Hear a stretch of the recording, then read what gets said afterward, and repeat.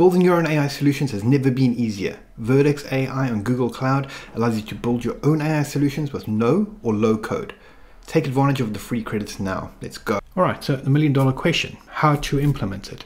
Well, I'm going to give a really simple example of how to get started with Google Cloud Platform, opening up Vertex AI and having a look at some of the pre-built models that are available. So this is going to be a quick walkthrough. I will be digging into this a lot more in upcoming videos. Leave a comment of which areas you'd like me to dig into a bit more and let's get going. The easiest way to do it is to just sign up for a um, Google Cloud platform and you get a, three, a free $300 credit. Um, so let's do that and I can walk you through that for a second. All right, so what you want to do is pop in your uh, details.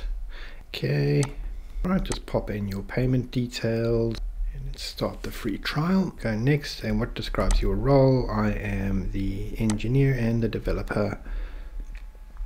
I'm actually everything, but that's okay. Let's go done.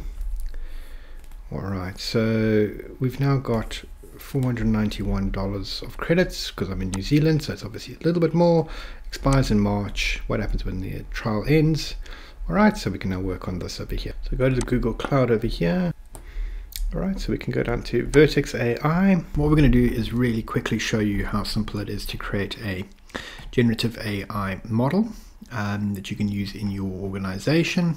And I'm not going to go through everything, but here's basically the notebooks, the gardens, the generative studio, and here's your model ops um, um, framework. All right, so what we're going to do is go click over here, Generative AI Studio, click on Try, and what we want to do is we want to create a um, language model. All right, so access PaLM API for chat and code generation, summarization, and more. So this is pretty much like your Chat GPT or Google Bard, um, and it's going to be obviously local to your instance now. So click on Open. Right, so what we're going to do now is create a prompt. So if you've saved any prompts, you can just go over here. So my prompts, I've created a knowledge base, which I've uh, been using. And uh, what we can go do is go back to get started. All right, if you wanted to have a look at some prompt examples, uh, you can scroll down in your page over here. But what I thought we would do is let's just create a company chatbot. And what this is going to enable us to do is have some of our information available as context and we'll be able to chat with it. So what we're going to do now is look at the chatbot that's available. And um, before we get into too much detail over here, what we want to do is just um, note that this over here is a space where you can upload your own information. And here's the responses, so you can test it out. And on the right hand side is um, some parameters and settings that you want to um, that you might want to adjust. Um, I won't go through everything over here. But what we'll do is just make sure that we're using the correct model. So let's just use the Chat Bison, which is part of the PaLM um, library. And that's always good. All right, temperature is really about understanding how um, uh, creative your output is going to be. So 0.1 is going to be as close to accurate as possible and it's not going to come up with any sort of creative stuff. If you want to get creative, put it as 1 uh, or 0.7 to 0.9 and um, ultimately any tokens that you want to output. Um, I won't go through the top Ks and top Ps, those are probabilities, um, which we can get into in the next section. And uh, yeah, we'll just pop it in like that. All right, so the really, really simple interface over here. What we can do is just get rid of this context over here. And let's pop in my company information. So first for data is a consulting company helping AI. Um, and helping businesses adopt AI. So this is something that we can pop in over here and make sure it looks all right. Okay, so let's clear the conversation. So it doesn't know what I've copied in. It has no idea. So what we can do over here is just say, um, what is first for data? And hit send message. All right, so there we go. So it's basically taken the information I've popped into the context and it's now come up with a bit of a response. Um, very simple example over here of how you can use your own data.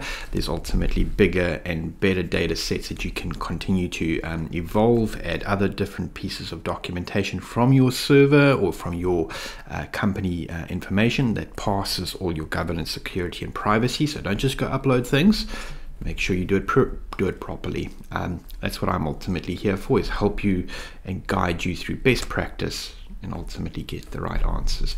All right, let's just ask it another question over here. Um, when was it founded? All right, so founded in 2018. That's correct. I built a large um, uh, claims uh, automation process for a very big insurance company in New Zealand. Uh, so that's all 100% correct. So as you can see, working pretty well. Um, I didn't even have to do anything. All right, so what we can do here is click on save and pop the prompt name in here and we're just going to call this first for data demo and hit save. Alright, so once the prompt has been saved, uh, what we'll be doing in the next videos is to look at how to actually implement this and create endpoints. So click on view code and what we'll do is look at the programmatic ways of implementing this in your organization. Alright, we're probably going to do a curl call uh, from our website, but next video, stay tuned for that. Well, that's the end of this video. Uh, hopefully you enjoyed that. Well, the benefits of having an all-in-one AI and MLOps space for delivering and building AI is brilliant. You don't need to reinvent the wheel, come up with your own frameworks, infrastructure and security requirements. There's so many models that can be plugged into your business. You can start by selecting a single domain, get a little skunkwork team going, and if you enjoy this video, check out my website. I have links to information to get you going uh, with some real world scenarios.